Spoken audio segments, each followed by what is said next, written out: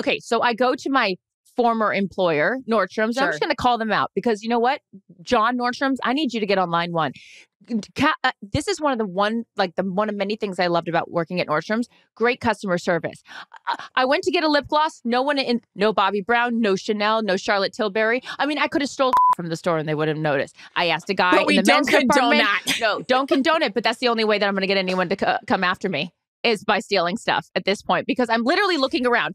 I, I was again, we reference it all the time. The pretty woman. I have all of this, and I just need a dress for dinner tonight. I was like, I want. cocktail So. I grabbed this girl, and she was so cute. I go.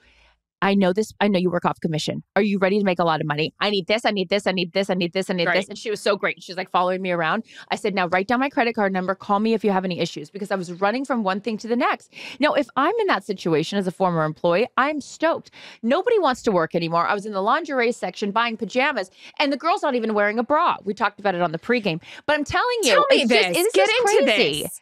What kind She- of shirt is she wearing not to wear a bra? And are we wear- loose and free or did she think are- she didn't need one? What's going on? We are loose and free. And as a gal that didn't wear a bra for most of her life because I didn't have enough to wear a bra, I realized the effects. And now I'm looking for a lift. And now we're getting a consultation. And now I'm having Sure. people like you be like, oh, you don't need one. I'm not looking for an augmentation. I'm just looking for a little perk, perk, perk it up. Well, I Yep. wanted to tell this girl, this sweet young associate working Maybe in the lingerie, maybe we could get you a free one like we did with your LASIK.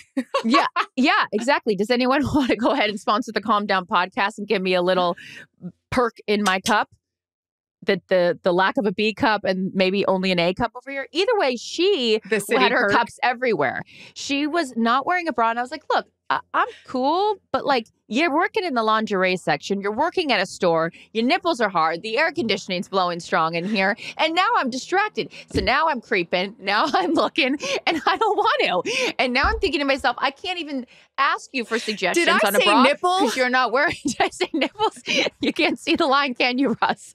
You know, seriously, Mary. I wish Mary was working at the lingerie counter because she No definitely shit. wore a bra. I mean, come on. So we don't even have to wear bras to work anymore. Wonder if we just showed up on air without a bra. I mean, uh, come on. There is a time and a place, ladies. no so one would want to see me do that. Customer, so customer services went to shit. I can't get any help. And all I want to do is buy some gifts. And then, you know, I, I got to admit, my patience level is very little to begin with. And it's something I'm working on. But right now, like, follow along. You want to make some money here or you don't want to make some money. You can see I'm a gal on a mission. so that's where I'm at. I'm going 100 miles an hour and I need to calm the f- down.